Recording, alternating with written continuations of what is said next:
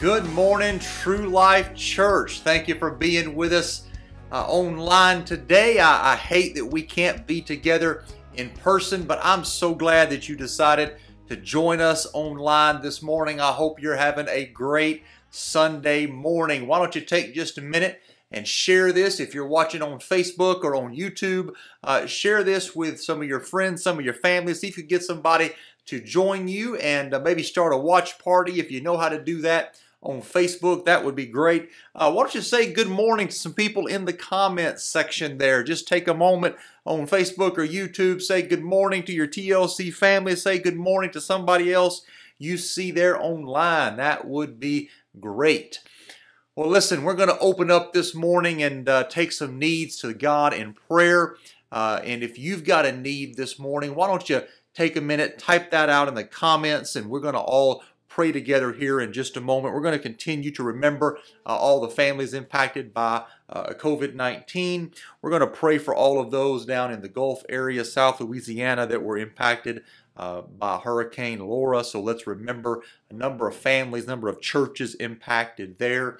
We're going to take those needs and many needs in our church family. Uh, we're going to take all those before the Lord this morning. Why don't you join me? If you're if you're watching in your living room or, or in your kitchen, no matter where you're at, you're watching online, you see some names that are being put in the comment section right now. Why don't we go together uh, in, in prayer and take these needs before the Lord? God, we come before you this morning. We thank you, Lord, for your goodness. We thank you, God, for your mercy and your many blessings. Lord, you see every need represented here online this morning. You know what needs to be done in each and every situation. And I pray, God, that you would move and that you would minister, that you would touch, that you would heal, and that you would deliver like only you're able, God. I thank you for your goodness and I thank you for your mercy. Touch and move like only you can. In the matchless name of Jesus, we pray. Amen and amen. Well, again, thanks for being here this morning, and uh, we're going to take our offering online. We did this in, uh, in COVID, and so we've got a little bit of practice when we were shut down. Uh, so there's a, a number going to come on the screen. You can text an amount, uh, or you can go to our website, tlcjoshua.com or truelifejoshua.com. You can click the Give button in the top right corner. Uh, you can also text an amount to 817 440 3740. I know that you'll be richly blessed and uh, we're able to do everything that we can do around TLC. We do things like put these services online and, and take care of issues that we have on campus, uh, all because of uh, the way that you give and support this church. So while you're taking a moment uh, to give online, I'm going to give you just a few quick updates on some announcements uh, and about what's going on here at TLC. Uh, first of all, uh, tomorrow, or today rather, today starts our 14 days of prayer and fasting from today through the 26th. So, what we're asking is that the entire church family uh, would be, be on a media fast. Take a break from media, take a break from the news. Uh, obviously, you have to be online, some of us, for our job, and so I want you to do that. Uh, but I want us to basically uh, take in only uh, spirit filled, only Christian based media. So, uh, you know, take in the Word of God, uh, worship, and, and, and uh, you know, if you want to watch some sermons or something like that. So, so do that for the next couple of weeks as we kind of clear our hearts and clear our minds for what God would say to us. As a reminder, uh, just, just a couple weeks away is our Power and Demonstration Conference. That's again September the 26th and 27th, Saturday night, 6 o'clock, Sunday morning at 10 a.m. And yes, we do expect that everything will be back up and operational. I'm praying everything will be back ready for next Sunday. That's what we're believing for. Uh, we'll move to the gym if we have to. I'm ready to get back together. Uh, I don't want to do an extended time away from our TLC family. And so, uh, but we believe everything should be in order for Power and Demonstration Conference. I know some have asked about that. Uh, and then tomorrow night, Somebody put in the comments, if you were here in person, I would say turn to somebody and say tomorrow night at 7 o'clock, we will have a time of prayer together as a church family. Obviously, our sanctuary building is closed, so we're going to meet in our banquet room in the Family Life Center. In our banquet room, uh, we have chairs spread out in there. Uh, we'll have some music going. We're going to kick off uh, prayer with a word. Uh, with, a, with, a, with a quick prayer request and a word, and then we're going to pray together. Listen, I know that this weekend kind of got thrown a curveball, uh, but we're not letting it disrupt what God wants to do in our church and in our families. Amen. And so uh, we're going to start our, our fasting today. We're going to start praying together as a church tomorrow night. And now, one week from uh, tomorrow, uh, following Monday night, we'll meet together again. So the next two Monday nights, 7 o'clock, we'll meet together in the banquet room for a time of focused prayer together. I know that will be great. let me give you a quick update on uh, the fire situation here uh, at TLC on campus. So uh, the cleaning continues uh, by ServPro. They're doing a great job there. Uh, we were able to find the electrical lines uh, that were damaged or cut through the, during the demolition. We are able to find those, uh, both ends of those lines, so the repairs can start on that ASAP. We're hoping uh, tomorrow afternoon or Tuesday morning that those will be uh, begin and begin to be repaired and get our get our electricity turned on. Uh, we did, I think I've already mentioned this, we did open the claim with our insurance company, so we're waiting for a um, claim number to be assigned, an adjuster to be assigned. What we hope to happen this week, we hope to get the electrical lines repaired, uh, continue maybe even and, and, get close to finishing our cleaning, uh, continue the damage assessment once the power comes back on. Uh, when we looked and saw where the lines ran, I don't expect there to be much damage in, this, in the uh, equipment uh, in our sanctuary itself. Uh, but in the other parts of the building, the other AC units that were on that same panel, those will have to be assessed uh, for any damage there. Uh, now listen, uh, this coming Wednesday, midweek, uh, that is still on. Everything will occur in the Family Life Center, okay? And so uh, Celebrate Recovery will be moving over. So some of the rooms may be adjusted. Uh, and so we'll be putting that out, a notice for where classes are being held uh, in which rooms, but uh, but we will have midweek this week in our Family Life Center. And as I mentioned, power and demonstration is still on, and then, of course, our prayer and fasting is still on. So I believe God is continuing to do great things even when we have a curveball thrown at us like we had this week. Amen. Well, this morning I want to want to talk to you about something very quickly. I won't be long this morning, but but uh, we're going to continue in our restoring victory series. Restoring victory. Now we've got a modified service. We're online. Uh, and to be real honest with you, we've got a modified message. Um, I had a, a different different uh, message in mind for this installment of our restoring our restoring victory series, but I just felt to share something a little bit different with you online today. Um, and, and, yeah, it was uh, partly due to the recent activities on our campus. I hope that it helps somebody. Uh, maybe your pastor is the only person that needs to hear this word this morning. I'm sure some of our friends in South Louisiana uh, will find this as encouraging as well. Now, listen, it is uh, it is a little bit disheartening that right after we get back to a you know what many would call kind of a semi-normal environment from the impact of of a global pandemic, here we sit at home yet again one more week due to a fire in our sanctuary building. But you know, the truth is, when the enemy or life or just a given situation throws a problem your way, when, when a problem comes my way, I'm going to continue to declare the word that I'm going to declare this morning. And that is one key to restoring victory in your life is to simply never give up. And that's what I want to talk to you about just for the next few moments. Let's pray over this word today. Father, I thank you, Lord, for your goodness and your mercy. I thank you for your love and for your compassion. I'm asking right now, God, that you cleanse our hearts, our minds, and our souls, that you open our hearts, open our ears to hear your word, God, and let us be encouraged. Let us be lifted up, God. Let us, let us be restored in our faith this morning, God. Your word is anointed, and I pray that you anoint my lips to deliver it. In the matchless name of Jesus, we pray. Amen. You know, one person said the one way to get to heaven is to turn right and go straight. And uh, you know, it's it's really simple. Living for God and making heaven home, becoming a born again believer. You dedicate your life to God and then you don't look back. You don't stop. And whatever you do, you never ever give up. First of two points I want to make this morning is don't ever give up on yourself. One way to make sure that we restore victory in our own life is to never give up on ourselves. Well, pastor, how do I how do I do that? How do I how do I make sure that I don't give up on myself? Well, go ahead and fix in your mind, set in your heart this morning that you are going to mess up. That you are going to fail. Go ahead and prepare to fall short. Well, that don't sound that encouraging. That doesn't sound that optimistic. No, but it's a key to restoring victory, to maintaining victory in your life is, is preparing and saying, I'm not perfect.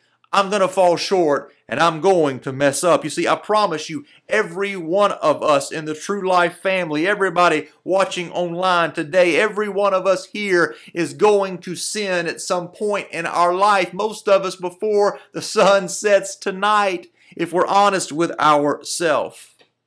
So go ahead and prepare. But let me tell you just how dirty your enemy fights, just, just how disgusting the enemy of your soul really is. You see, you'll be, he'll tempt you. You'll be tempted by your flesh. You'll be tempted by Satan himself. He'll tempt you with something that he knows is appealing to you. And then when you fall to that temptation, when you fall to getting angry, when you fall to that pride, when you fall to that lust, when you fall to those thoughts, when you fall to, to messing up, to jealousy, to whatever it may be that's your weak spot, when you fall to that, then the enemy will begin to beat you up, bring on condemnation for giving in to your weakness. You see, God is prepared for us to make mistakes. It's one of the main reasons that Jesus Christ came, shed his blood at the cross, because no amount of our sin equals up to the amount of grace that God has for you. Paul told the church in Rome in Romans chapter 5, the end of verse 20, he says, But as people sinned more and more, God's wonderful grace became more abundant. You're used to hearing it in the King James Version put this way, but where sin doth abound, grace does much more abound. You see, God has provided healing. He has provided forgiveness for our mistakes, and He does not expect them to expect us to use them to live any way that we want. He doesn't expect for us to use His, His grace as a license to sin and live like heathens, but He does expect us to maintain a victory in our heart, in our soul, because of His grace and because of His mercy. See, as I mentioned, one of the enemy's greatest weapons is self condemnation. What does that exactly mean, Pastor? It, it means condemning oneself by your own judgment. We refer to it often, as I said before, as beating yourself up. And the devil wants you to think that when you mess up, you're no good that when you mess up, you shouldn't even try to live for God any longer, that when you make a mistake, you ought to just throw in the towel, lay down in defeat, and call it over.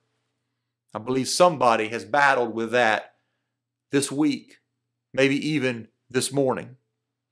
But you know, one of our greatest examples in the scripture of, of someone overcoming self condemnation is Simon Peter. And self condemnation can be worse for those who have the furthest to fall. So if you're watching online this morning, and if you hold a position in church, maybe you're a pastor, maybe you're a preacher, maybe you're a minister, maybe you're in ministry right here, a leader right here at True Life. Condemnation can be toughest for those who have the furthest to fall. You see, Simon Peter was one of the first 12 to be called among, along with his brother Andrew from his life as a fisherman to follow Jesus Christ. Some historians believe that the Gospel of Mark was actually dictated by Peter. This is the man who walked on the water, water with Jesus. He, he was given the revelation of Jesus Christ by God the Father. He, he was called to save all Gentiles. He also declared to Jesus that he would never leave him regardless. Just a few hours after making that declaration, Gospel of Mark records in the 14th chapter, it tells of Peter's denial. It says he even called down curses, declaring that he did not know Jesus. You see, at this point, Scripture tells us that he broke down and he began to weep after denying him three times. You see, I think it's safe to say this morning that self condemnation set in pretty hard on our friend Simon Peter. But Jesus, he didn't give up on Peter. While Peter was feeling low, beating up himself, John records in chapter 21 of his gospel that Jesus meets Peter on the beach, confirms his love for him three different times. And you know, the Apostle Peter went on to preach the first apostolic message that we find in the book of Acts in chapter 2. If you think that you've messed up too bad, just remember an apostle who denies Jesus Christ is restored to preach the greatest message ever recorded in history. You see, the key this morning is this simple don't ever give up. When you fall, just get back up. Pastor, I have fallen this morning. Well, get back up. Pastor, I fall. I, I, I fell this weekend. Get back up. Pastor, I messed up this week over and over again. Well, just get back up. Just keep getting back up. Don't give up on yourself. Whatever you do, don't give up on yourself. Second point I want to make this morning is take that same grace and mercy, that same attitude towards yourself, and show it towards others. Don't ever give up on others. Don't ever give up on God. Don't ever give up in a given situation that you find yourself in. Just like we shouldn't give up on ourselves, we should always get back up. You see, we should never give up on other people. We should always help other people back up when they fall. I promise you someday you'll be in a position where you'll want somebody to reach out to you and help you get back up. You know, since just in the last couple of days, since we've announced that we had this fire on our campus, we've had I've had a number of pastors reach out to me.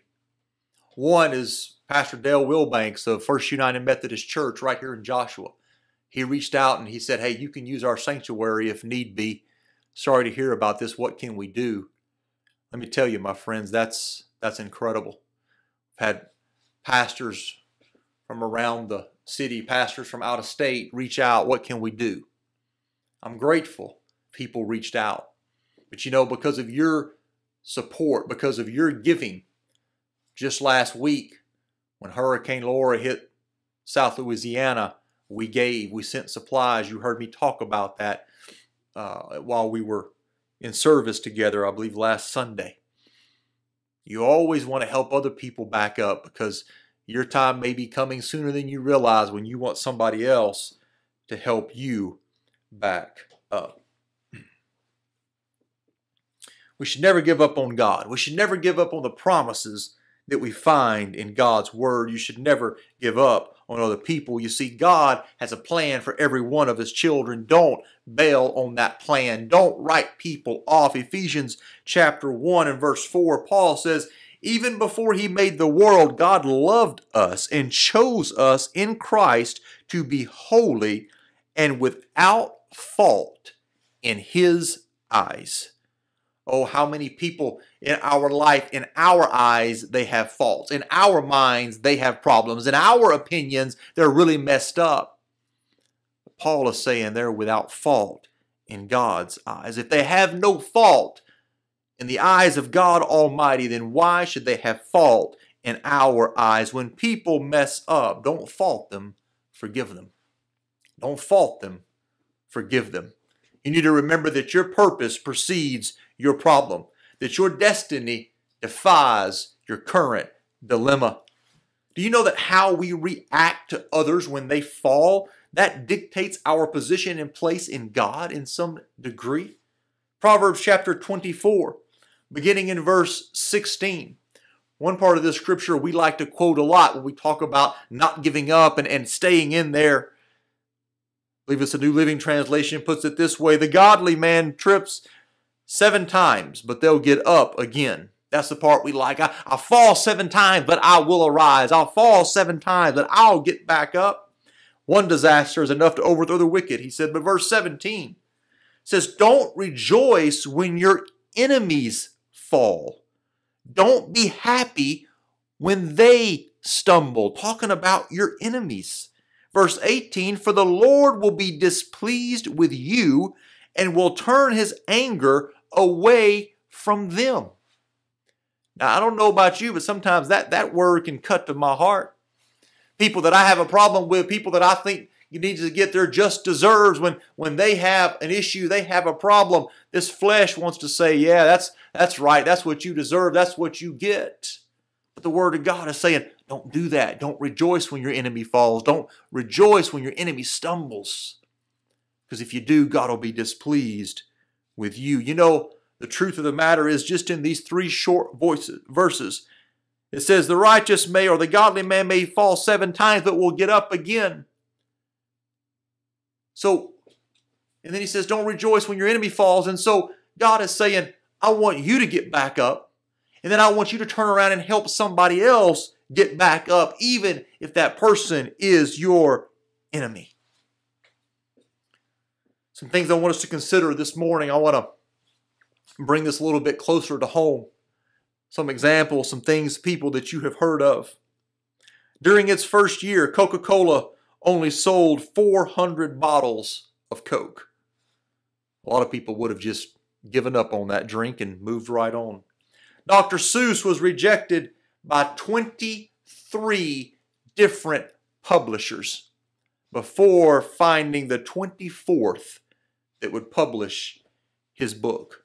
I bet those 23 are kicking themselves after, after publishing all of his books. Babe Ruth held the record for the most home runs at one point, but he also held the record for the most strikeouts. Legendary basketball player Michael Jordan was cut from his high school basketball team. He was quoted as saying, Michael Jordan said, I've missed more than 9,000 shots in my career. I've lost almost 300 games. 26 times I've been trusted to take the game winning shot and missed. He said, I have failed over and over and over again in my life, and that's why I succeed. It is said that Thomas Edison performed over 50,000 experiments before he succeeded in producing a storage battery. We might assume the famous inventor would have had some serious doubts along the way, but when he was asked if he'd ever became discouraged working so long with no results, Thomas Edison just simply said, Results? Why, I know 50,000 ways that don't work. now, that's a new spin on things. That's a new way to look at things. The great Winston Churchill seemed dull as a youth, and his father thought that he might be incapable of earning a living in England. Thomas Edison's first teacher described him as addled, and his father almost was convinced that he was a dunce. Albert Einstein's parents their, feared that their child was dull. He performed so badly in high school courses except mathematics that a teacher asked him to drop out. You see, by people's normal standards, each one of these should have given up in most people's eyes, when you hear these stories without their names, if you didn't know how these stories end, you would have thought these people should simply have given up. And the true, the same is true for a lot of saints. The same is true for a lot of children of God. We think when I don't perform to a certain level, when I don't, my life does not measure up to this bar, when I don't have all the details for my life worked out just like I need, when I don't have all the details for my ministry in line just like I need, then, then I just simply need to lay it down. I need to walk away. Pastor, I need to take a break. Pastor, I just need to get away for a little while. Pastor, I just need to stop. I need to look for something else. I need to do something. I need to quit ministry. I need to quit church. I need to quit God. I need to quit because I'm just not getting it right. No, no, no, that's not the case. You need to have victory restored in your heart and your mind this morning and determine in your soul you're never, ever going to give up. We need to take the words of the Old Testament prophet, Micah, and we need to hide them deep in our soul. Micah chapter 7 and verse 8, a very familiar portion of Scripture. As I begin to wrap up this morning, I want to read this one verse of Scripture and bring it home to us today. Micah 7 and 8 says, Rejoice not against me, O mine enemy. When I fall, I shall arise. You know, I don't think that the Lord would be too mad at us if we improvised a couple of words in this scripture this morning and just brought it a little closer to home. I think it would be fitting for somebody to say, Rejoice not against me, O my enemy. When a pandemic plagues the earth, for I shall arise. Rejoice not against me when there's civil unrest in my country, for I shall arise. Rejoice not against me when there's economic crash the stock market, for I shall arise. Can I get even a little bit closer to home for you and for me and for our TLC family this morning? Rejoice not against me when our church building catches on fire, for I shall arise. We shall arise. Rejoice not against me when I have to be on church online service one more time, for we shall meet again. not in that glorious morning, but, but on a Sunday morning back on our campus. Rejoice not against me, O my enemy. I shall arise. You know, the truth of the matter is, true life, when we make the decision to give up, when we make the decision to say, I'm done, then what we're doing is we're telling Jesus Christ, Calvary was not enough. When we walk away, when we turn our back on God, we're telling God Almighty the price that you paid on the cross wasn't enough to cover my mistakes. They weren't enough to cover my sin. Your blood was not enough. When we don't forgive other people, what you're really saying is, God, the blood of your Son, Jesus Christ, was not enough to help that person, to forgive that person, to wash that person, to cleanse that person. You're not going to succeed in the way that you want to in every area of life. You're not going to succeed in every area of ministry. You're not going to succeed in every area of your walk with God. You're not going to succeed in every way as a parent, in every way as a spouse, in every way as a son or a daughter, in every way in, in any part of your life. You're not going to be 100% successful. You are not perfect. But you can give 110% in effort. You can make up your mind 100% to not give up. Don't stop trying. Don't stop moving forward. So remember, don't give up on yourself. Don't give up on others. And never give up on God. Here's what I want us to do as we close out this morning. If you've got something that you feel that you struggle with in life and you're comfortable sharing it publicly, I want you to type in the comments right now. I'm not giving up on my job. I'm not giving up on my kids. I'm not giving up on you fill in the blank. If you don't if you don't feel like being specific, then just simply put out there, I'm not giving up. I'm, I'm, staying the course. I'm going to hold on. I'm determining today that I'm going to not give up. I'm going to let victory be restored simply not giving up. I hope this was a blessing to you today. I want us to pray together before we close out this morning. Father, I thank you for your precious word. I thank you, God, for each person that has joined us online today. And I pray, God, right now, that you let this word resonate in the depths of our soul and help us, God, to hold to your promise, to hold to your grace, to hold to your mercy, and to determine in the depths of our hearts, in the depths, the recesses of our soul, to determine to never, ever give up, to not give up on ourselves, to not give up on others, and to never give up on you. I thank you for each person that joined us online. I thank you for each person that's watching this, whether we're watching it live this morning or later in the week.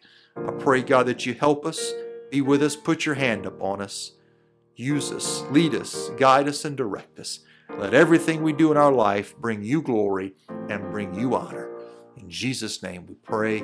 Amen. We love each and every one of you. I hope you have a great Sunday afternoon. And don't forget, we'll see you tomorrow night at 7 o'clock in the Family Life Center for a time of focus, fasting, and prayer together with our TLC family. Love each and every one of you. God bless.